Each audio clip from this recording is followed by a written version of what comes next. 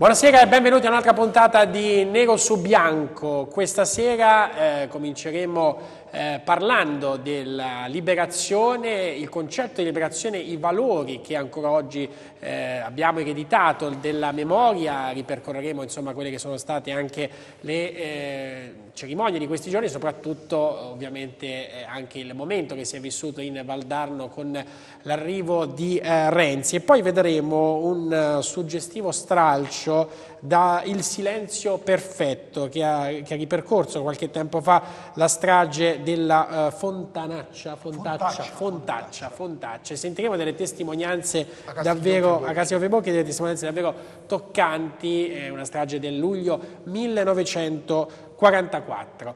Eh, tra poco partiremo però con una, un argomento di attualità che ci permette anche di parlare di questa trasmissione. Io intanto saluto il segretario provinciale del Partito Democratico Massimiliano Dindalini. Buonasera e poi eh, Cristiano Romani che è il segretario eh, del Movimento Nazionale della Sovranità per quanto riguarda Arezzo, buonasera, buonasera. buonasera e poi saluto Luca Grisolini che è il presidente dell'AMPI della provincia di Arezzo, buonasera, buonasera e eh, benvenuto, c'è Davide Faltoni, c'è Piero Franchini. Buonasera a tutti. e allora a proposito di Davide Faltoni, la scorsa settimana eh, avevamo qui il sindaco Ghinelli, a un certo punto eh, Davide Faltoni aveva riespresso il suo parere sulla eh, scuola di Matrignano Matrignano sulla possibile chiusura della scuola di Matrignano e ribadendo che secondo te questa chiusura è giusta per i motivi che insomma hai delineato, adesso non stiamo a ripercorrere, che tra ecco, l'altro no, hanno suscitato numerose polemiche su Facebook da parte di alcuni dei genitori della, diciamo, della, dei bambini che vanno in questa scuola, eh, c'era stata una interrogazione dell'onorevole Mattesini, proprio del Partito Democratico, e tu avevi detto no ma perché non fa un'interrogazione? Eh, dico, ma forse c'è in questo momento una, qualcosa di più drammatico che è la Cantarelli con tanti posti di lavoro a rischio che forse, considerato anche che è una procedura, che c'è un controllo ministeriale, è più attinente un'interrogazione sulla Cantarelli che non su Matrignano. E mi sa che forse ti ha ascoltato perché l'interrogazione appunto è diventata realtà. Sentiamo un attimo eh, l'onorevole Mattesini. Io sono molto preoccupata, tra l'altro abbiamo seguito la vicenda Cantarelli fin dall'inizio e devo dire che il fatto che la prima asta nata deserta crea davvero grandi preoccupazioni e oltre che creare preoccupazioni io credo che debba eh, avere l'impegno sia da parte della Regione ma per quello che riguarda me anche diciamo così, il far carico di questa vicenda al Ministero dello Sviluppo Economico. Ne parlerò direttamente con eh, la, la Vice Ministro Teresa Bellanova che conosce la questione e presenterò anche un'interrogazione. Però al di là delle interrogazione serve davvero che tutta la nostra provincia eh, lavori in modo, una, in modo, unitario perché questa vicenda è una vicenda che merita un impegno. Sono um, come dire, 200 persone ma anche come dire, un marchio e anche un'azienda importante che ha fatto la differenza nella qualità delle, dell'esportazione anche di questo nostro territorio e penso che debba essere difeso proprio il posto di lavoro delle persone ma anche una possibilità per il nostro territorio, in questo caso la Val di Chiana, di poter mantenere un polo produttivo di grande importanza. Insomma, quello che ci chiamiamo nero su bianco, ma sì. qualcosa rimane. Quindi ecco, quando facciamo qualcosa di buono è bene dirlo. Quindi, ecco. E qui credo che di buono lo abbiamo fatto, anche se poi eh, chissà come andrà a finire, perché è chiaro che eh, le difficoltà ci sono e sono tante. Quindi io spero però appunto perché, eh, ritornando al discorso della liberazione, ecco anche qui diciamo, ecco, sia, eh, si trovi il giusto modo perché dopo la liberazione di quando sono nato io, che 72 anni fa, eh, spero che eh, onestamente questa liberazione serva anche a qualcosa perché la gente che è stata liberata abbia con che vivere, abbia come eh, stare tranquilli e abbia come soprattutto sentirsi in sicurezza, sentirsi eh, veramente in democrazia come dovrebbe essere. E certe volte invece ci sono molte ma molte pecche che purtroppo eh, vengono sempre a galla. Ecco, quindi ecco, io spero che appunto eh, si, tutti si ripensi un po', si ritorni un attimino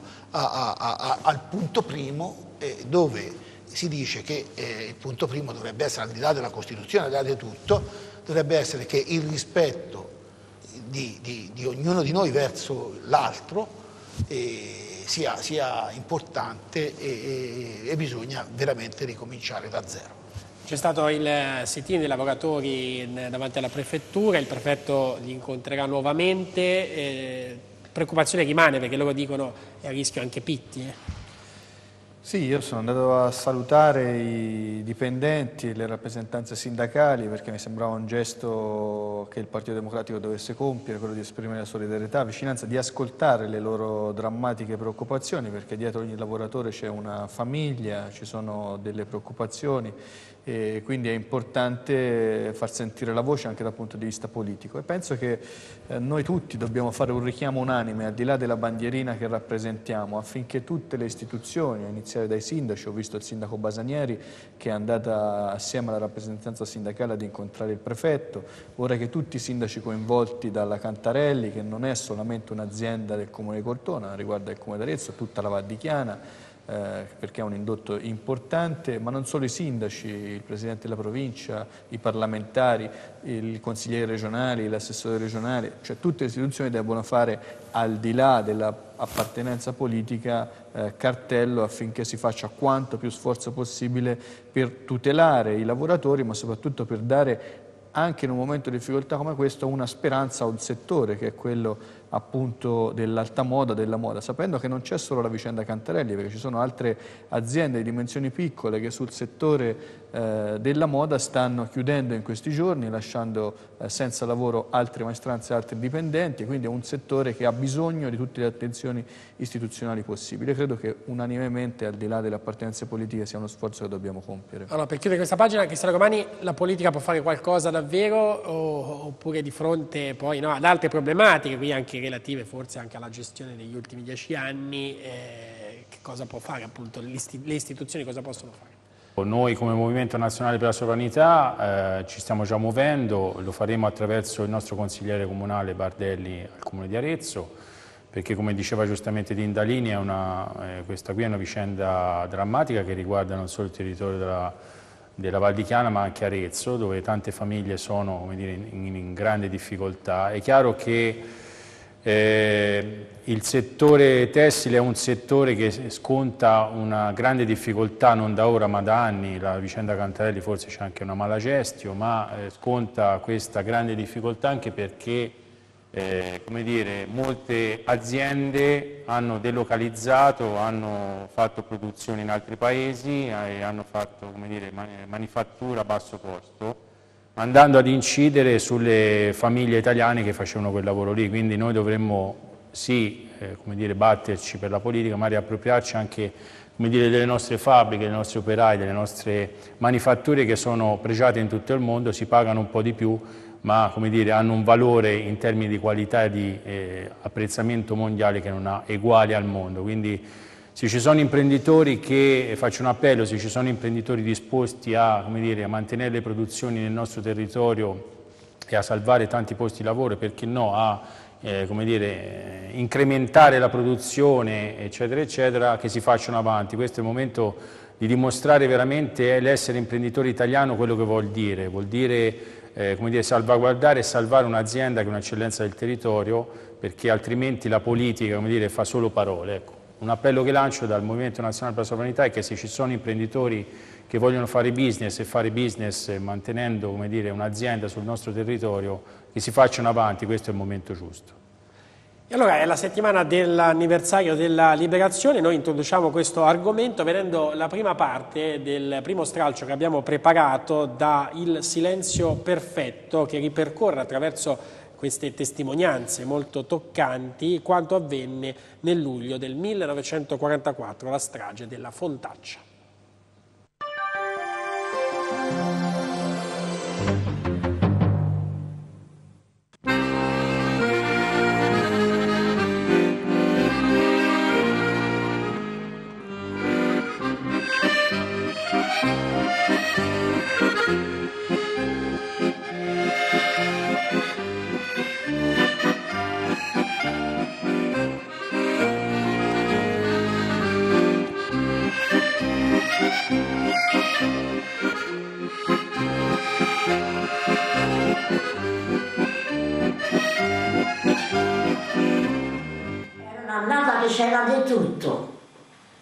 Veramente che Dio dice non abbandona. Era l'annata che c'era tutto, frutta, verdura, patate, c'era di tutto, di tutto, di tutto. La casa era grande, c'era il comando dei tedeschi, c'era il macello lì al fosso, attaccavano sulle bestie, la ammazzavano e facevano insomma tante cose. La sera ballavano tutti, la, la cucina è tanta grande, andavano a prendere le ragazze cazziglio nella Dorina del Lenzi, la, la Tea, andavano a prenderle, se no eh, se venivano la ammazzavano, ha capito? E, e io ero incinta, ero grossa che dovevo partorire, mi mettevano l'acqua a bollire le, le, e dopo mi mettevano a letto e mi facevo le, le borse d'acqua calda. Creda che ne ho passati quanti... C'era degli inglesi che erano scappati, dalla, erano prigionieri alla Laterina, sapete, il eh, centro del come si dice, campo di concentramento. Allora erano spaiati, andavano via dove si potevano nascondere, siccome che un po' che si nascosero giù, pelarono vicino a Colozzo si chiama, a Rondine, c'erano dei posti che si potevano nascondere. Allora tutti d'accordo, anche in un'altra famiglia, e si mandava quello che si poteva mandare per mangiare a questi inglesi. Fuori il bando, il campo di concentramento si chiedeva, quindi un po' li richiapparono questi fascisti mascalzoni e quelli che si potevano salvare un po' un là, chi è quello che raccattava? Fossero stati anche per dire contro di noi, allora si era alleati contro di noi, se, chi è che mi dava un, un, un po' da mangiare? Io avevo chiappato i granti, preso i granti in quel posto di quelli spogliati, sai, le tenere a cocedera. E mi provavo, curioso, ora si cuociono, si mangiano, no? Accese il fuoco con la padella pronti, sale, una cannonata ma una cara nel camino, mi rimase il manico in mano. e dopo sentiremo invece un'altra parte sui rastrellamenti. Luca Grisolini, giovane presidente del, dell'AMPI, e questo diciamo, forse è il primo aspetto che colpisce sei presidente da, da un anno quasi, un anno. Meno, meno, poco, meno, poco, meno, di un anno. Ecco, come sei arrivato alla presidenza di questa associazione che è tra quelle per antonomasia che ovviamente eh, servono per incentivare, alimentare la memoria? Beh, eh, io eh, diciamo che ho una storia molto particolare all'interno di questa associazione, eh, mi, ho ricevuto la prima tessera nel, che avevo 12 anni, quindi eh, si parla di un percorso lungo, io vengo da una famiglia che ha subito una strage, che è stata la strage di Vallucciole e quindi la vicinanza all'antifascismo nasce diciamo come patologica. Poi avvicinandomi all'associazione, dapprima ero la mascotte del gruppo negli anni dei, dei 14-15 anni, nel 2009 sono stato alla guida della sezione dell'Ampi del Casentino e poi nel, 2010, nel 2016 sono subentrato alla guida storica di Amedeo Sereni alla presidenza provinciale della nostra associazione e quindi sei arrivato insomma, con questo percorso appunto che parte dalla tua famiglia. E ogni anno ovviamente ci sono queste celebrazioni, alcune, cioè quasi tutte insomma, istituzionali, quindi il, il ricordo avviene sempre. Eh, bisognerebbe fare qualcosa di più secondo te anche per una memoria forse maggiormente condivisa da parte anche dei giovani stessi? Ma io penso che eh, il problema fondamentale eh, stia in un, in un, clima di insofferenza e di ignoranza che vive il nostro popolo. E, e mh, questo si incontra molto spesso con eh, il fenomeno della, della, retorica che per tanti anni è stata fatta sull'argomento, diciamo, senza invece considerare quelli che erano i veri aspetti e quelli che sono stati i veri meriti della eh, della resistenza. Certo, se ci si soffermasse di più, eh, sia da un punto di vista istituzionale, quindi non soltanto con la mera corona, ma per il 25 aprile o per l'anniversario dell'evento, ma eh, ci si organizzasse per insegnare nelle scuole con manifestazioni che mobilitino la popolazione intorno a quella che è stata non la storia lontana da noi, ma la storia dei nostri territori, come abbiamo visto eh, dell'eccidio precedente in, in provincia d'Arezzo, contiamo decine di stragi con migliaia di morti, la provincia d'Arezzo è medaglia d'oro al, al valor militare, quindi eh, questo significa che c'è da raccontare e fa parte della nostra storia e tutti, da forze politiche alle associazioni come la nostra, che sono chiamate alla tutela di quello che è stato il patrimonio memoriale della resistenza, i valori sanciti in Costituzione, siamo chiamati ed impegnati per il vivere civile, per essere dei buoni cittadini, a portare un messaggio extra istituzionale, mi verrebbe da dire. Cristiano Romani dice, dice Luca Grisolini, c'è anche ignoranza nei confronti di, di questi temi, eh, si ha la sensazione effettivamente che a volte si tratti ecco, di celebrazioni che si devono fare no? e si fanno, eh, però poi no? eh, tutto finisce lì, anche perché poi viviamo in una società dove forse questi valori non sono molto rispettati. No? Io non lo so se si devono fare, io sono stato lungamente consigliere comunale sì. e quindi ho vissuto il 25 eh, aprile e sostanzialmente, come dire, eh, non, eh, un po' difficoltoso parlare perché eh, la, il, diciamo la, il 25 aprile è una, una festa importante, ma è una festa divisiva una festa che divide, non è una festa che unisce. È una festa che è una ferita profonda all'interno di una guerra civile che c'è stata in Italia. È una guerra, è una, eh, diciamo una ricorrenza che, dire, ha, eh, ricorda a tutti quello che è stato il dramma dell'Italia nella guerra civile. E vedere che ancora oggi, eh, con questa festa, con questa ricorrenza, eh, si tende ancora a dividere si tenta ancora a riaprire ferite che sono, ancora non sono chiuse, credo che sia uno sbaglio. Io credo che la guerra civile sia stato uno sbaglio, credo che eh, come dire, siano stati commessi delle stragi inutili, credo che anche eh, dire, ci siano uh, degli errori che sono stati commessi anche da uh, chi mi ha preceduto, da, da, diciamo, da, dai partigiani, come ci sono stati da dai nazisti come ci sono stati dai fascisti. Questa è stata una guerra civile tragica per noi, è stata una, una guerra civile che ha marchiato eh, il nostro Paese. Credo però che si debba, come dire, leggere a tutto tondo quello che è stata questa ricorrenza, questa, tutto quello che ha comportato questo, questo evento, questo tragico evento, questa tragica guerra, guerra civile e dovremmo spogliarci un po' di tutte le bandierine che abbiamo addosso perché eh, rimango un po' basito quando vedo che eh, quando si festeggia questa ricorrenza ci sono solo bandiere rosse con la falce e il martello. Mi piacerebbe vedere più bandiere tricolori.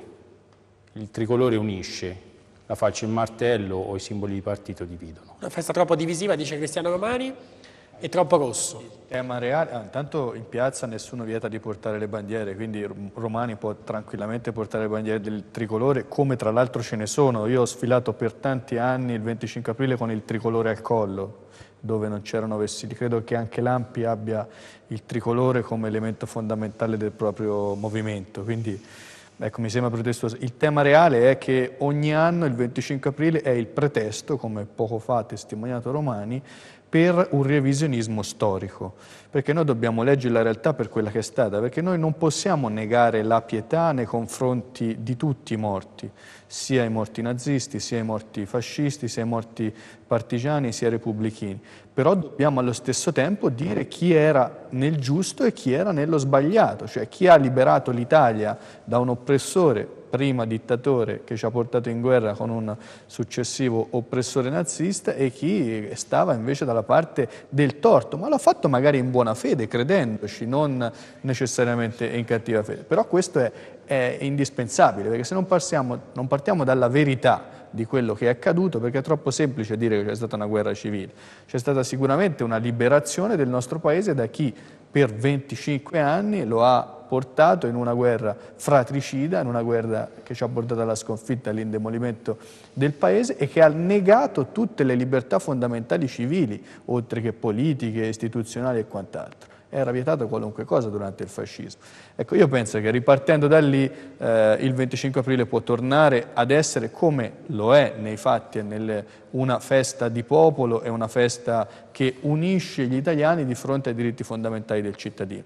Poi c'è chi ogni volta cerca il pretesto per non esserci e per strizzare l'occhiolino a quei movimenti che ancora magari all'interno del movimento eh, fascista trovano un qualche riferimento, un qualche eh, sterile, anzi pericoloso richiamo anche nel, nella democrazia di oggi.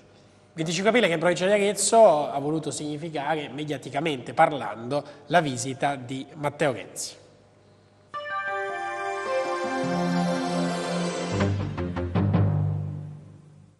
101. 101, grandissimo, grande, grande. Buon applauso. Comincia così con il saluto al partigiano Piero Baldi il 25 aprile dell'ex premier Matteo Renzi che sceglie Cavriglia per ricordare la liberazione.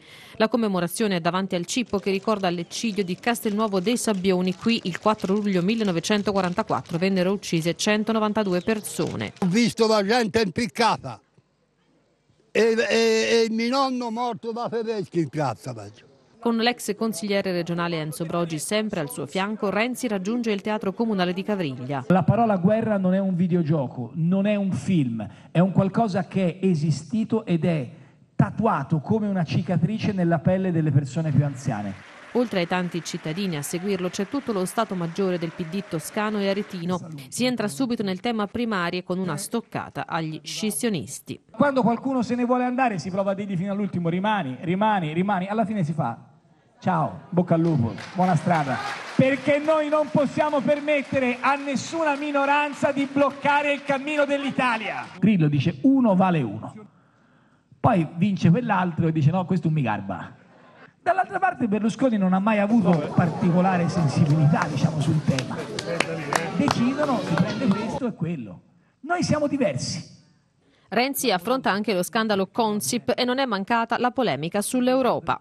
Non i blog grillini, non gli aspiranti stregoni, le persone deputate, cioè i magistrati, vadano rapidamente a sentenza perché noi, caro Enzo, la parola onestà non la lasciamo in prestito a nessun altro siccome noi tutti gli anni diamo 20 miliardi di euro all'Europa e ne prendiamo indietro 12, io per tre anni gliel'ho detto con le buone.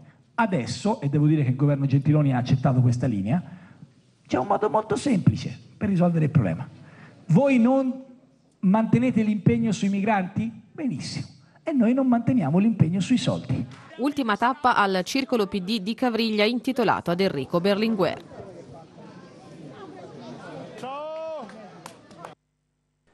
Allora Davide, eh, come vedi questo mix tra 25 aprile e poi no, quella che è la campagna, visto che adesso ci sono le primarie domenica e quindi eh, unire nel 25 aprile alla, le primarie e poi alla parte quella di omaggio alle vittime? Io, allora, io, vorrei fare la, la, domanda che mi pongo eh, è questa fondamentalmente e dopo cercherò di... Mh, mm, allora, la memoria di fatti di più di 70 anni fa ha, ha ancora un senso o no? O, no? Che, e soprattutto che senso ha vedendo anche questo tipo di manifestazione?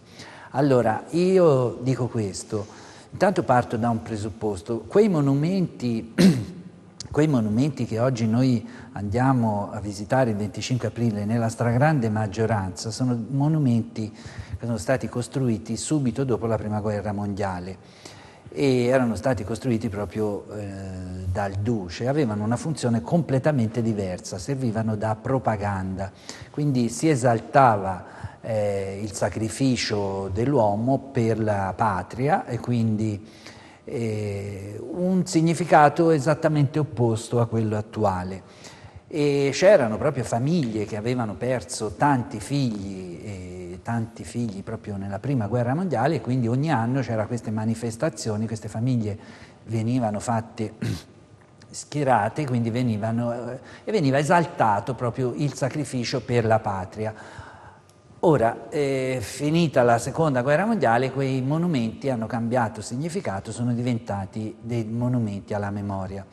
Quindi oltre che sui carri si sale anche sui monumenti. Ma non lo Di so. solito, di solito No, si sale è- nei carri poi, no? È una Si scelta, scende in tempo, è una si scelta scende. no, ma quello che volevo dire, però vorrei aggiungere che il 5 maggio si festeggia la liberazione dell'Etiopia eh, dall'Italia, chiaramente, così come la Libia ha un altro giorno, il Montenegro altri giorni. Perché eh, dico questo? Perché, perché qui c'è un problema, secondo me, in questo paese. Prima Romani sollevava la questione dei- dei- dei del valore dei morti, no? E quindi se appartenevano lato o all'altro. Il problema è un altro, secondo me, che nel nostro paese non è mai stato fatto i conti con la storia. Cioè il nostro paese, per una serie di fattori esterni, e quindi il fatto che finita la seconda guerra mondiale era stato diciamolo pure, liberato o occupato dagli anglo-americani e doveva far parte della, eh, dell'Occidente e considerato che all'interno aveva un forte partito comunista e confinava con la Jugoslavia che invece faceva parte del blocco sovietico, si è deciso di non sottoporre a un giudizio storico quello che era successo nel ventennio precedente. E questo è il dramma di questo paese. Quindi vengo alla risposta, cioè non sono stati fatti quei processi come chiedevano questi paesi, a cominciare dall'Etiopia, a cominciare da tanti a tutti i nostri eh, vari comandanti che hanno fatto veramente delle cose terribili in quei paesi, perché in Etiopia abbiamo, oggi ci si scandalizza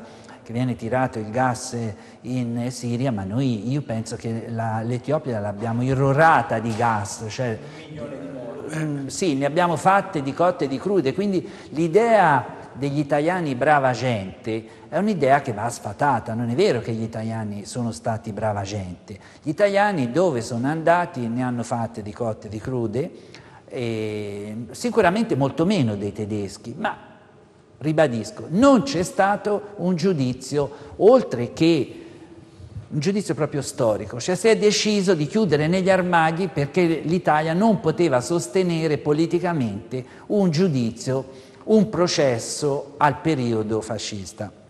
Allora vengo alla risposta, ora sono passati 72 anni e mi rendo conto che ancora non si riesce serenamente a fare un processo di quello che è avvenuto quel periodo e si strumentalizza da un lato e dall'altro, perché secondo me non- io non voglio dire che in quel periodo non siano state fatte cose atroci anche dai partigiani, anche eh, da, da- da- lo sappiamo, cioè era una guerra e sicuramente c'è stato eh, tanti aspetti negativi di, che ora io non sono in grado né di analizzare, non credo che sia questo il momento, però purtroppo noi, per esempio, a differenza della Germania, dove è stato fatto questo processo e la situazione politico-sociale in Germania è completamente diversa. Eh, Romani scrolla la testa, no, la Germania c'è un altro problema che ha inglobato la Germania dell'Est, la quale, come, come noi, non ha, avuto, non ha avuto un processo simile, non c'è stato un'analisi serena e seria di quello che era successo, che ribadisco, gli italiani nelle colonie non erano andati a portargli la cultura e il benessere, siamo cioè, mh, ce lo dobbiamo, ma questo non solo eh, nel periodo fascista, anche nel periodo precedente. La prima invasione della Libia, dobbiamo ricordarci, ci abitava in Libia 800.000 persone, dopo dieci anni di occupazione erano ridotti a 120.000, cioè non solo erano tutti nomadi, in quella, in quella regione non c'era né uno Stato né niente, erano tutti nomadi e, e fu deciso, questo nel periodo fascista, che dovevano diventare stazionari, furono presi e messi in dei recinti, cioè perché si dovevano abituare a non si muovere più. E in queste condizioni questa gente che non era abituata, i più sono morti, sono stati ammazzati. Quindi non è che siamo brava gente, noi non siamo brava gente. Quando ci troviamo in certe circostanze, credo che siamo come tutti gli altri. E questo non giustifica né mh, non giustifica, secondo me, una revisione di quel periodo, né in senso positivo né in senso negativo, ma credo che dobbiamo smettere di credere che quel periodo sia stato un periodo idilliaco, quel periodo ha molti aspetti negativi, era una dittatura, sicuramente anche, era una dittatura anche illuminata per alcuni versi, ma era pur sempre una dittatura, la gente veniva deportata e soprattutto ci ha portato a una guerra con milioni di morti, distruzioni, sofferenze, questo non ce lo dobbiamo dimenticare. Quindi ripe- concludo venendo alla risposta. Risposta. Quando io oggi vedo che i ragazzi di 15, 16, 17 anni comprano le effigie del duce o dicono di essere eh, di ammirare il duce, eh, allora dico, ahimè, purtroppo questa, questo paese non fa, non fa eh, non, fa, non, non, riesce a fare un'analisi seria perché a questi ragazzi gli va fatto capire che purtroppo, anche se sono passati 70 anni, se da un lato sentono il bisogno di mettersi la spilla del duce, vuol dire che bisognerà fargli anche spiegare cosa ha fatto quell'uomo, perché se no non si riesce ad andare avanti.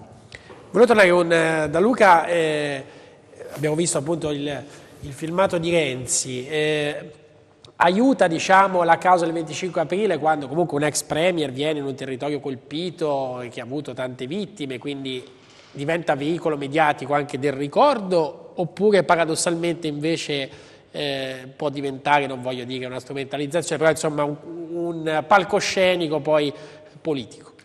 Eh, è una risposta abbastanza divisa, diciamo che eh, la partecipazione senza dubbio di un partito che si dichiara dalla sua fondazione come partito antifascista una manifestazione del genere è comunque un dato positivo. Eh, francamente, tornando a quello che diceva Romani, il problema non è che ci sono troppe bandiere rosse, il problema è che non ci sono altri partiti che sentono la necessità di portare, di rivendicare un antifascismo, semmai, e portare le proprie bandiere. Per conto mio, per il 25 aprile in piazza ci dovrebbe essere soltanto la bandiera tricolore. Basta. Però eh, questo è un fatto. Eh, sulla presenza di Renzi, appunto, io l'ho scoperto l'ultimo giorno, giorno di questa cosa, ma eh, io avrei evitato il momento politico, avrei evitato il momento politico in una ricorrenza come questa, eh, però ognuno diciamo, è libero in sua coscienza, è una festa della libertà eh, fondamentale. Voglio un, una,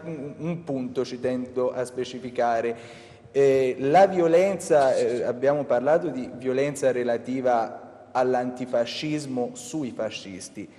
Innanzitutto c'è da puntualizzare questo, se oggi esiste un neofascismo o persone che possono ammettere e dire pubblicamente che ci sono stati dei crimini e che rivendicano una propria identità che è quella fascista, lo devono essenzialmente ai partigiani e a quella che è stata la missione di conquista delle libertà e dei valori fatta dalla resistenza. Quindi, paradossalmente, i primi a dover festeggiare il 25 aprile partigiani sono quelli che oggi si dichiarano neofascisti, che in un regime come quello che imitano o vorrebbero imitare non avrebbero avuto alcuna dignità di stampo sociale, non l'avrebbero nemmeno in Italia da un punto di vista legale per quelle che sono le, la legge costituzionale e la legge Scelba in particolar modo. C'è la pubblicità, poi rispondiamo, voglio sentire anche voi ovviamente su Renzi e poi vediamo anche la seconda parte del silenzio perfetto. Tra poco.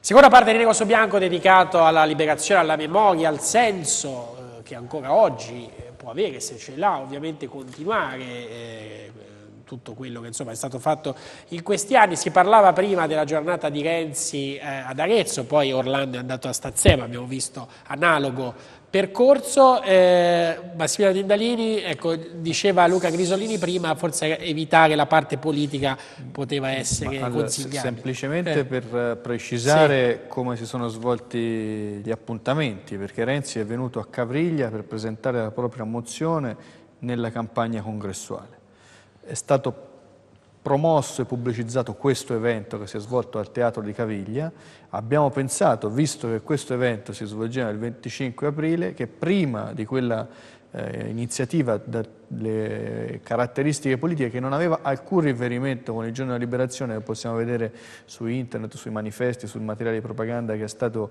messo in giro per promuovere quell'incontro, eh, prima di quell'iniziativa in forma non pubblicizzata, i giornalisti che erano presenti lo possono testimoniare, c'erano solo alcuni abitanti di Castel Nuovo dei Sabbioni presenti a quella celebrazione, Matteo Renzi ha inteso rendere omaggio privatamente, perché in questo momento non ha cariche di partito, al monumento ai caduti. In quella fase è stato accompagnato dal sindaco, dall'ex consigliere Enzo Broci, dal sottoscritto e dal segretario del PD dell'Unione Comunale di Cavriglia. Quindi non c'è stata nessuna volontà di affiancare la commemorazione del 25 aprile alla presentazione della mozione. eh, cose completamente diverse. Dall'altro lato però credo che sia anche legittimo e anzi credo che sia doveroso che rappresentanti politici di livello nazionale e non solo, di primo piano, comunque conosciuti, personaggi pubblici, eh, rendano omaggio ai vari monumenti ai caduti che sono sparsi per l'Italia, che sono tantissimi.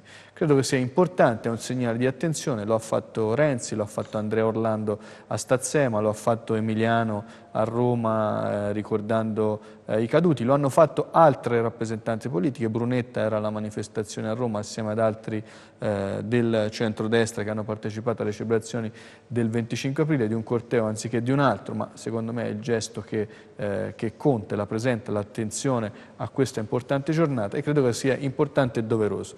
Viceversa, non farlo consente quell'oblio a cui ci richiamava Davide, che invece secondo me è fondamentale. Il processo storico di quello che è stato anche il fascismo e il nazifascismo e le responsabilità che il fascismo ha avuto anche nella nascita del nazismo, nel propagarsi della eh, storia del nazismo in Europa sono fondamentali, gli accordi che ci sono stati, il percorso storico, cosa che effettivamente purtroppo ha trovato e ha un vulnus nei programmi eh, della scuola, ad esempio. Cristiano Comani scuoteva il capo prima.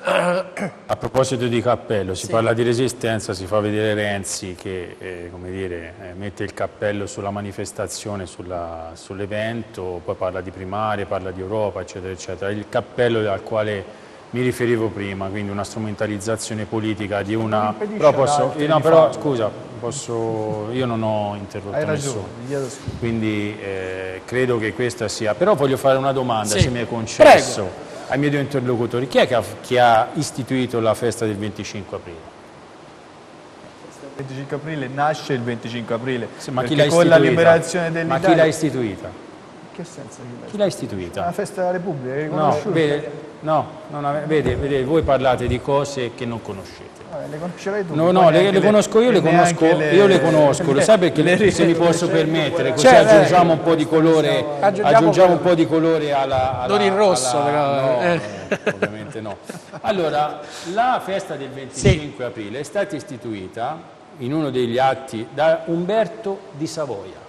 Umberto di Savoia, con un decreto, con un eh, luogotenente generale del, del, Regno, con un regio decreto ha istituito la eh, festa del 25 aprile. Questo è l'atto suo, quindi questi signori parlano tanto di festa, di conoscere profondamente come dire, il significato importante di questa festa e non sanno nemmeno quando è stata promulgata quando è stata fatta per legge. Guarda, Tra l'altro, scusa, però posso, posso dire, però, posso dire, però posso dire, però ragazzi mi interrompete, io non ho interrotto nessuno, io non ho interrotto nessuno, per cui vorrei parlare liberamente come voi avete parlato. Allora, allora, questo qui è, loro parlano di cose di cui non conoscono nemmeno il fondamento. Ma a parte questo... Quindi cosa vuoi dire si che l'ha creata? No, si parla, si parla tanto... Sì, si parla tanto del, come dire, della pietà... Mi fai finire di parlare? No, Sol, visto perché, che fa le domande... Perché sei così nervoso? Perché sei così nervoso? Sei nervoso? Perché sei stato punto nel vivo, perché non conoscete le cose. Non conoscete le cose e invece bisognerebbe, come dire, conoscerle nel profondo. Bene. Ma si parla tanto di pietà eh. umana, dei morti, eccetera, sì. eccetera. Intanto Umberto I ancora è morto ed è all'estero perché intanto non si fa rientrare l'ultimo regnante della, della, della, della, monarchia e anche questo secondo me è uno sbaglio, potrebbe pacificare molto l'animo eh, diciamo, nazionale, questo secondo me. Ma soprattutto c'è un altro conto, noi si parla tanto di eh, come dire, di partigiani e di liberazione, giusto, ma eh, non si, qui non ho sentito dai miei, dai miei, interlocutori parlare anche dei crimini, perché qui si è parlato dei crimini dei fascisti, dei nazisti, giusto, giustissimo, ma non si è parlato dei crimini che sono stati compiuti a guerra finita.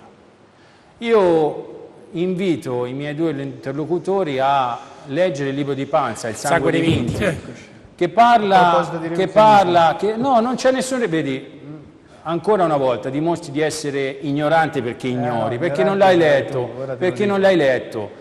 Lì non c'è nessun revisionismo, c'è la cronaca fredda e lucida di quello che è stato eh, compiuto nel triangolo della morte. E badate bene che non si dava la caccia solo ai fascisti, ma si dava la caccia ai preti, si dava la caccia ai democristiani, si dava la caccia ai liberali, si dava la caccia anche ai bambini che avevano la sola colpa di essere magari stati figli di eh, fascisti. Ecco, come se tutto questo potesse essere passato sotto silenzio.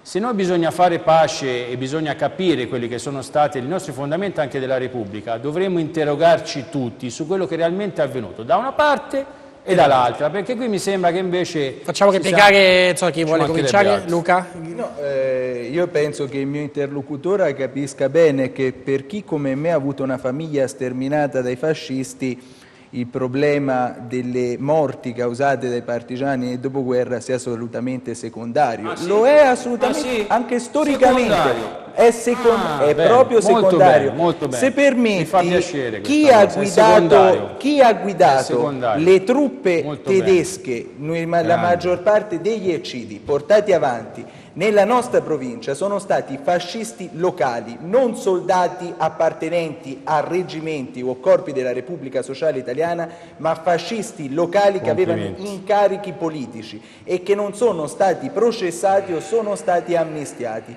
Riguardo al Nord Italia ci sono stati degli eccessi. Quello succede storicamente in qualsiasi guerra civile che porta all'annullamento. In Italia questo annullamento francamente non c'è stato in una misura potente. Se si va a vedere cosa è successo in Francia e Germania, la situazione è tutt'altra. In Francia i prefetti, le cariche politiche, gli vertici della, della polizia sono rimasti allo stesso posto nonostante la collusione che avevano col regime. Quindi io mi trovo perfettamente d'accordo con il ragionamento di prima per cui in Italia non si è mai fatto un conto vero e proprio con il fascismo. Ci sono stati degli eccessi, ma va visto quello che era stato il clima provocato dai fascisti. Le foibe, come le legge lei le foibe? Lei legge le foibe considerando soltanto l'evento tragico, drammatico e Che criminale? giustifica anche le foglie? No, Ah no, no... ma chi mi parla delle foibe Eh, da una determinata parte politica mi dice che le foibe sono state aperte dai fascisti o no?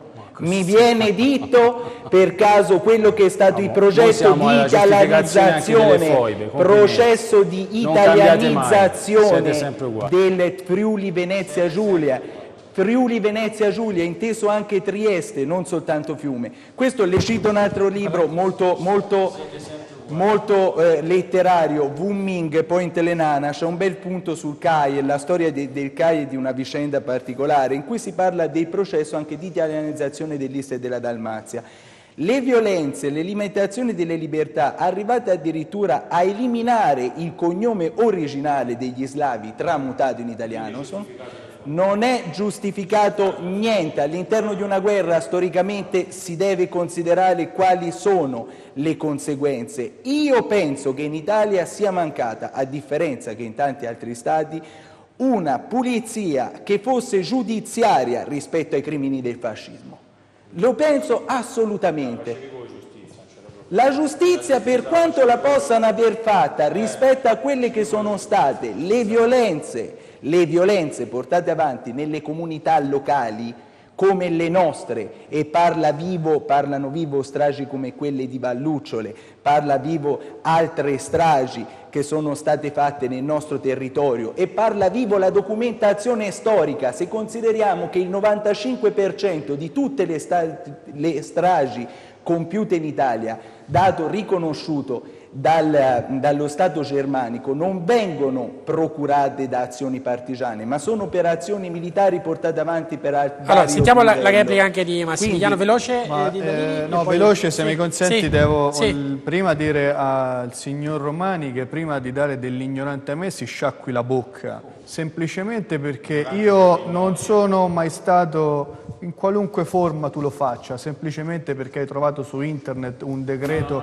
di Umberto I, dovunque tu l'abbia trovato. Eh, comunque sia, il 25 aprile nasce il giorno della liberazione con una grande festa di popolo e il fatto che il re lo abbia proclamata come detto non va sicuramente ad assumersene il merito perché il merito è di chi ha liberato l'Italia il 25 aprile. E permettimi, da chi per dieci anni da sindaco Vabbè, io non ti ho interrotto se non per dirti due volte, ora l'hai fatto già Due tre paghi, volte, due quindi inizia a sciacquarti la bocca e a tenerla in bocca un attimino, l'altra, Eh. per consentirmi di dirti quello che penso. Siccome dal mio profilo politico e personale non hai, come dire, possibilità di dire in alcun modo quello che hai detto fino a prima, perché io sono sempre stato un coerente antifascista, a differenza tua che non ti sei mai dichiarato antifascista e credo che non lo farai neanche oggi. Penso non abbia In- problemi a dichiararsi fascista. Esatto, esatto, quindi iniziamo a mettere i puntini su lei. In secondo luogo vorrei ricordarti che il sottoscritto ha fatto il sindaco di Civitella in Val di Chiana e per dieci anni da sindaco, prima da libero cittadino, ho ricordato quegli oltre 250 vittime civili, donne, bambini e anche il parroco di Civitella che ha tentato di sacrificarsi per tutti, che non è stato ucciso dai partigiani, ma è stato ucciso dai nazifascisti che sono venuti ad occupare quella comunità. E non ti permetto di parificare le cose come hai fatto banalmente e in modo viscido prima, perché è una cosa indegna, soprattutto nei giorni di ricordo del 25 aprile e dei sacrifici che hanno fatto in questa nostra provincia tanti cittadini, tante famiglie che è decorata, come veniva ricordato prima, al valor militare e tanti comuni con medaglia d'oro al valor civile proprio per il sacrificio che hanno dato. Mettere sullo stesso piano e dare il merito al re di aver individuato il 25 aprile come festa della liberazione è un'offesa ai cittadini liberi, democratici ed antifascisti come me, Chiaro, quindi mi ritengo politicamente offeso. Pazienza. Dunque io Eh, lo so che te ne freghi. vorrei, vedo qui eh, gente abbastanza giovane, no? quindi vorrei raccontare una parte di storia che forse poi è stata anche un po' travisata dalla politica. Ecco, io, mh, eh, la signora che ha detto che eh, era incinta, che era gra- gra- grassa, grossa, era la mia mamma. E quindi ecco, io sono nato in eh, quel periodo e ho vissuto, diciamo, su... Eri? Ero, ero- ero- ero io lì dentro. a- a- alla mia mamma. E quindi ecco, Quanti anni hai, Pier? io 72, perché quanti, quanti, quanti precisi, insomma. Ecco. E eh, mi ricordo che, eh, diciamo, da ragazzo appunto, eh, di queste cose se ne parlava, se ne parlava tanto, quindi ecco, i nostri vecchi, i nostri vecchi, oppure anche i nostri giovani, che avevano vissuto eh, le, le- le stragi, eh, io l'ho vissute in- nel corpo della mia mamma, però c'era quelli che le avevano vissute in modo vero, insomma, no? Ecco, e mi avevano raccontato e parlavano con disdegno di tutto ciò che era successo. E era successo perché c'era, diciamo, un, una- un esercito che eh, a un certo punto si è messo a sterminare, a fare delle cose che...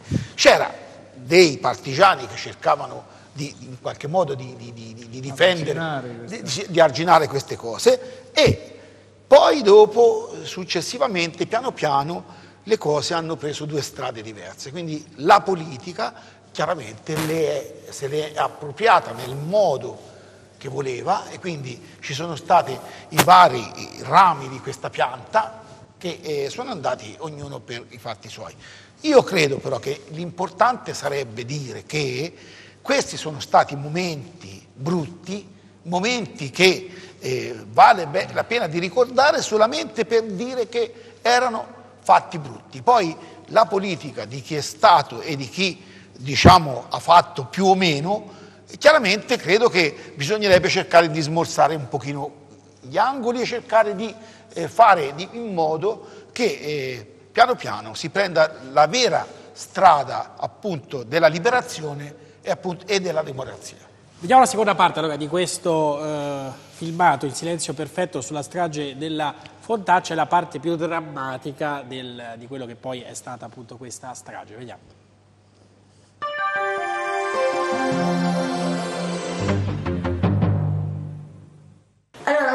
Notte si sentì, siccome c'erano dei soldati tedeschi a dormire su nei fondi, nelle cantine, capito?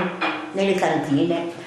Loro sapevano che famiglia si era, erano tutti insieme, questi sfollati. Non c'era nessun partigiano, nessun fascista, capito? Allora, vennero, vennero questa gente col buio perché c'era manco la luce, c'era col lumino e sentivo un gravido, si era letto, tutto a letto.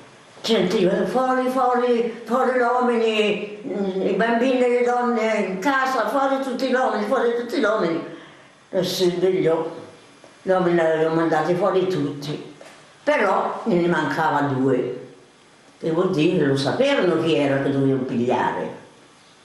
E chi c'era? Fascisti. Capito?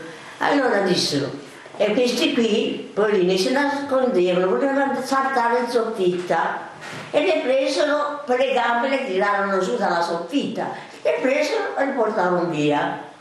Allora era Martinelli, oddio, Nello, Martinelli Nello. Ora però quell'altro genero, questo Martinelli, genero, era il marito della figlia, ha capito? Ma si chiamava Renato, ma non mi ricordo il cognome. Ha visto? E l'ha preso questi due, il sosoro e il genero, presero, lo misero, lo portarono via, capito? Tutti quegli altri si salvarono perché sono erranti. Questo genero, col Polo Mario dei Castiglioni, un giovane, e con questo genero del Martinelli li impiccarono all'ulivo, proprio sotto il monumento. C'era degli ulivi, uno qua, uno là. E li impiccarono tutti e due insieme, si guardavano. Io l'ho visti, avanti che li levassero, ho visto tutto. Allora, questi li impiccarono.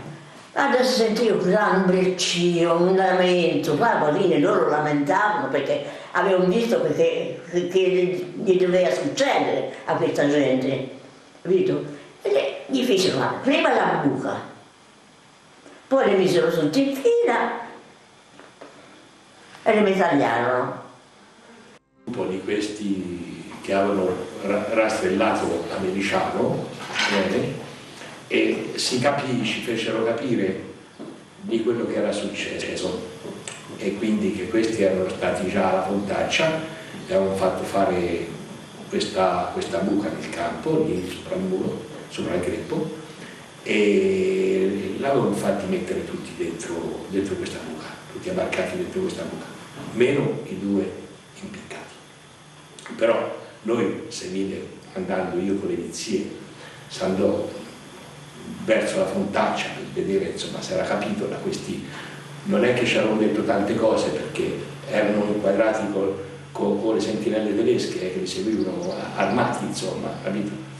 E allora eh, stando là eh, si trovò quello che si trovò si trovò. Si vide i due che erano attaccati all'olivo impiccati e questo era Carletti Renato e Mario Bellardini e quell'altro erano tutti tutta una barca dentro una buca Davide, cosa volevi aggiungere? Andiamo rapidamente allora, verso Volevo la conclusione. aggiungere che a me fa molto male vedere, insomma, i nostri ospiti sono abbastanza giovani, e vedere ancora questo muro contro muro eh, perché evidentemente credo che eh, Scusa, ma si parla tra fascismo e Sì, no, no, no, no, ma io limiti, no, non è un dialogo detto, diciamo, tra posizioni eh, Ma se mi fate parlare, allora Hai ragione, dai, ma eh, ovvio, ho però detto, mi sento... ribadisco che decisamente. No, no, no. Io ribadisco che ribadisco, a me piacerebbe che tutti, ognuno pure nelle sue convinzioni, nelle sue posizioni ci fosse un punto fermo che Intanto ci auguriamo tutti che quel periodo non torni e non ci ritroviamo a vivere quello che si è vissuto in quel momento, perché non credo che nessuno eh, si auspichi di ritrovarsi in quei momenti, che evidentemente vanno anche storicizzati, perché eh, si, è fa, si, è parlato di tante cose, della questione della ex Jugoslavia, e si è parlato, però dobbiamo, va storicizzata la questione. Cioè, fino agli anni 60 ci sono state le colonie non nostre, che noi le abbiamo perse con la seconda guerra mondiale, ma l'Inghilterra, la Francia, l'Olanda, la, eh, il Portogallo hanno avuto le colonie fino agli anni 70 e, e, e è proseguito quella comportamento, cioè, le colonie non è che venivano, eh, venivano la gente colonizzata, veniva colonizzata e quindi c'erano effettivamente dei comportamenti che noi oggi rifiutiamo, ma per fortuna Allora, quello che io voglio dire, quindi mi auguro, a me dispiace che il 25 aprile non sia un momento di unione e quindi mi rivolgo soprattutto alla destra che faccia un esame di coscienza, anche quando eh, Romani prima si scandalizzava, ma secondo me giustamente che Renzi va a fare una campagna elettorale il 25 aprile, ecco, però la destra non la rifiuti questa festa, la destra comincia a dire la festa di, è anche la festa della destra, perché nessuno di noi vuole che i giovani per le loro idee politiche siano giuste, siano sbagliate, debbano perdere la vita e che si ritorni in questo paese a vivere quei momenti che dra sono drammatici e ripeto, va rifiutato di ritornare a uno scontro come quello, perché non ci ha fatto bene. No, ma io sono d'accordo, tanto è vero che eh, il nostro consigliere comunale qui di Arezzo è andato al cimitero di, di, di indicatore, di indicatore proprio per rendere omaggio a quei giovani, quei tanti giovani che dettero eh, la loro vita combattendo contro il nazismo e il fascismo. Questo erano soldati che sapevano di andare incontro, ma lo faceva incontro alla morte, ma lo facevano con un grande spirito di sacrificio. Posso dirti, grande- Romani, ti Aspetta, scusa, però- ti voglio- eh, ricordiamoci che parecchi di quei che noi diciamo inglesi non sono inglesi, sono, erano ragazzi delle colonie colonie, che erano costretti, sono stati costretti a venire a fare la guerra per liberare noi. Sì, Quindi bisogna- ricordiamocelo sì, perché sì, ma infatti noi, vedi, il problema, eh, diciamo la, la grande differenza tra me e i miei due interlocutori è proprio questa, che è una grande libertà mentale. Infatti non ho avuto, se voi siete stati attenti, qualcuno sia stato attento a quello che ho detto, ci sono stati crimini da parte dei nazisti, dei fascisti, ma anche dei partigiani, perché sono stati, io non ho sentito dai miei interlocutori le stesse frasi, addirittura qualcuno giustifica le foibe, qualcuno diceva, beh, e dice, e dice, e dice, qualcun altro diceva, beh, ma sai, gli effetti collaterali, la guerra finita, per un anno e mezzo si continua a ammazzare la gente, erano effetti collaterali, non è così. Si- finché non si fa, come dire, come dire, ve- veramente i conti con la storia, non si pacificherà mai questo paese. Questo è il grande dramma. Tra l'altro, e poi mi zitto, eh, fanno tanto i difensori della liberazione, giustamente, soprattutto il segretario del PD di Indalini, quando permette con il suo governo alla Germania di fare ciò che Hitler non ha potuto fare nel 45, nel 40 e ha fatto la stessa cosa che sta facendo la Angela Merkel, oppure eh, parlano tanto di liberazione di un'Italia libera e quotidianamente ci fanno invadere da milioni di immigrati. Quindi questo credo che sia, come dire, un po' una faccia con la doppia medaglia. Ecco, era il medaglia- ponte, ora, al di là di questa eh, tua Questo- riflessione, questo no, è il ponte che volevamo, non il ponte del 25 aprile, Eh. ma il ponte diciamo argomentativo che volevamo poi portare alla fine della trasmissione, cioè se tu hai espresso ovviamente questo giudizio Mm. molto critico, no? cioè tu dici i valori di cui si riempiono la bocca poi non trovano applicazione nelle politiche del ora, governo infatti, o del governo è- tedesco in questo eh. caso.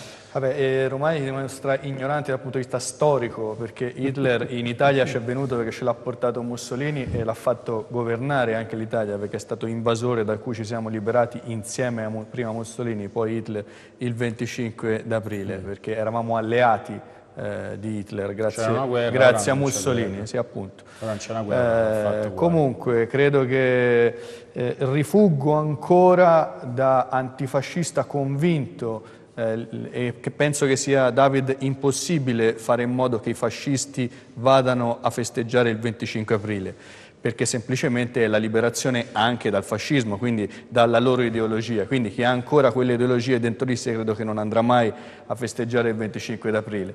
Eh, poi è anche singolare che, dire, chi cerca l'alibi per tutti i 25 aprile di andare a salutare e a omaggiare solamente una parte dei caduti, tant'è che si va a salutare dire, quelli che giustamente hanno contribuito alla liberazione dell'Italia, che non sono italiani, che va benissimo, è sacrosanto dovere farlo, ma mi domando anche perché anche, non anche gli italiani che sono caduti.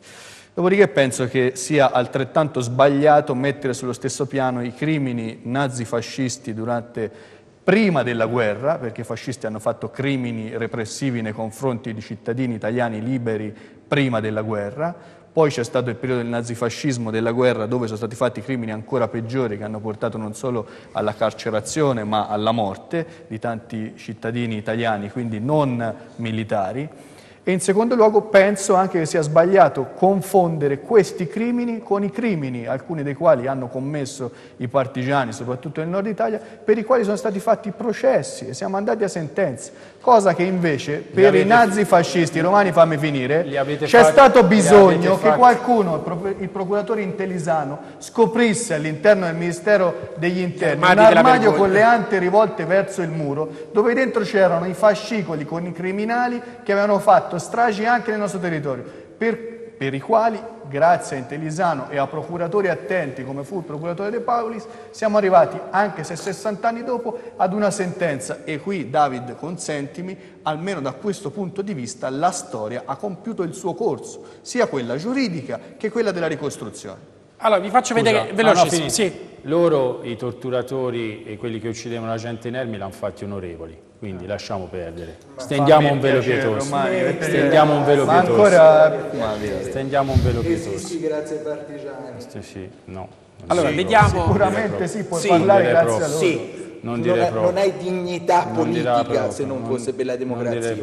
Allora, vi facciamo vedere adesso due cose. Una è questa del cimitero che vediamo tra un attimo, ma prima nella nostra trasmissione SOS Arezzo TV, siccome sapete che la cerimonia dell'alzabandiera viene fatta lì a Poggio del Sole e eh, viene fatta però in un luogo dove le scritte, le scritte della memoria, diciamo così, sono Sarebbero totalmente decadenti. Vediamo questo stralcio che abbiamo fatto con Beppe Marconi.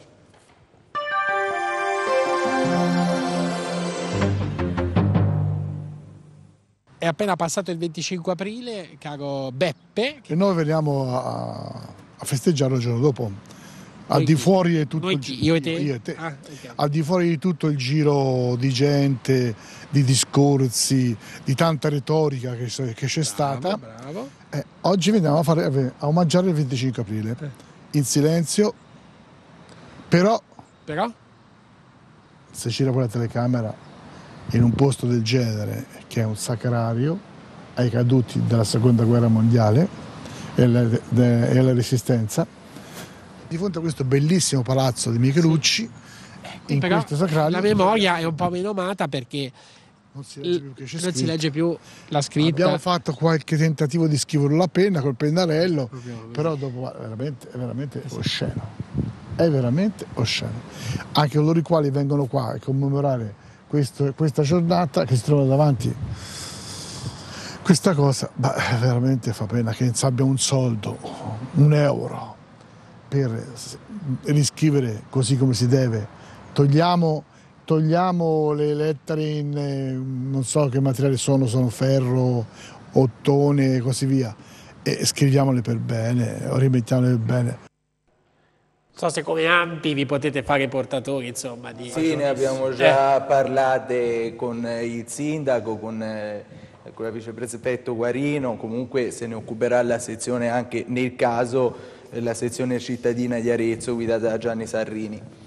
Vediamo allora eh, questo breve stralcio, appunto eh, c'era stato il consigliere Angelo Rossi che eh, il giorno prima del 25 aprile aveva fatto una nota dicendo che eh, anche quest'anno sarebbe stata ignorata la, diciamo, la- la- la cerimonia di commemorazione delle vittime dei- che sono sepolte a indicatore nel cimitero del Commonwealth. L'associazione Libera Aperta invece da anni si recava in modo solitario diciamo, a rendere omaggio anche a queste vittime, quest'anno eh, c'era anche il sindaco. Vediamo un attimo.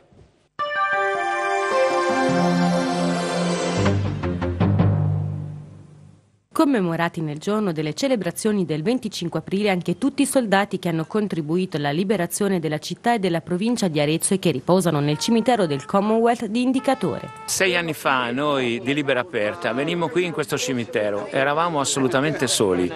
Piano piano abbiamo costruito, poi si sono avvicinati i paracadutisti e abbiamo fatto una cerimonia sempre più grande. Addirittura quest'anno sono venuti qui anche il presidente Vasai, il sindaco di Arezzo, il corpo con il gonfalene dei vigili urbani. Siamo felicissimi di questo perché noi vogliamo onorare tutti i morti della resistenza. Allora, onorare tutti i morti della resistenza, Luca Grisolini cosa voleva aggiungere? No, io volevo precisare eh, riguardo a- alla presenza che secondo me è sacrosanta eh, al sacrario del Commonwealth che eh, la data e la deposizione di fiori al cimitero è prevista da cerimoniale da anni all'interno delle, delle, celebrazioni del 16 di luglio per la liberazione. Esatto. Mentre invece la data del 25 aprile, visto la numerosità dei monumenti presenti intorno alla città di Arezzo implica che ci sia un ricordo da parte dell'associazione di quel momento. Quindi benissimo, comunque c'è da fare presente questo. Allora il cerimoniale viene deciso unitamente, deciso, si, se ne discute ma più o meno è lo stesso, da AMPI, dalla Confederazione delle Associazioni Combattentistiche Partigiane, dal Comune di Arezzo e dalla provincia di Arezzo. Se qualcuno si fosse espresso in tempo rispetto a questa necessità con chi di dovere dei suoi uffici comunali, poteva essere inserito e sicuramente dall'AMPI, e penso di parlare anche a nome del Presidente Mangiavacchi, delle confederazioni delle associazioni combattentistiche e partigiane, avrebbe avuto, problema, avrebbe avuto problemi. Penso ci sia un'eclatanza del gesto, per esempio i paracadutisti che hanno scelto per loro volontà di andare a festeggiare il 25 aprile, io non li ho visti nelle file di chi festeggiava il 25 aprile a, a, a Poggio del Sole.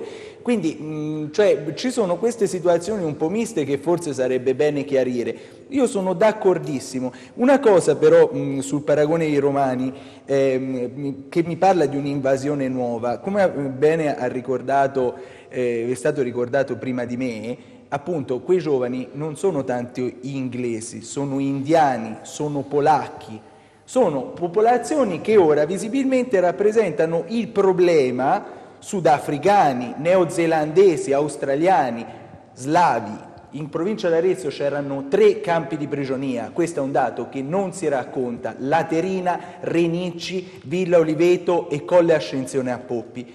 Dove sono morte, parlo soltanto del campo eh, per esempio di, eh, di Laterina, 200, più di 250 persone, appartenenti appunto a slavi, quindi per ricollegarsi in tutto. Questo ci dovrebbe portare a capire quello che è lo spirito della resistenza. È vero, giusto gratificare quei soldati che sono morti, ma anche a capire bene da chi scappa da un contesto di guerra e chi scappa da un contesto di miseria. Io non vedo l'immigrazione, l'immigrato come un'oppressione, lo vedo come un problema sociale, semmai inteso da un punto di vista sociologico e politico che deve essere risolto, ma non come un nemico.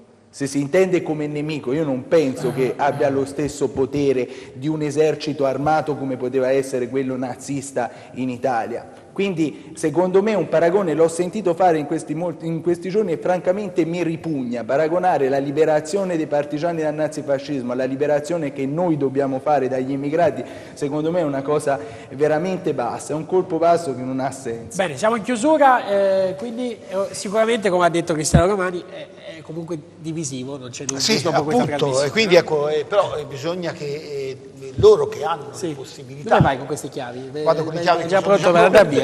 Sono già pronto perché abbiamo fatto tardi. Ah, fatto, ah, eh, cioè, ecco, dicevo che, eh, le, che, siano le chiavi per aprire, chiavi, per aprire un qualche cosa di nuovo. Di nuovo. Diciamo così. Bene, ecco, ricordiamo perché... due appuntamenti. Sì. Intanto uno, diciamo, politicamente laico, domenica c'è foto antiquaria sì. Ma domenica si vota anche per Primaria. le primarie del Partito Dalle Democratico. Tutto pronto? Sì, Tutto oltre 100 seggi in provincia di Arezzo. Bene.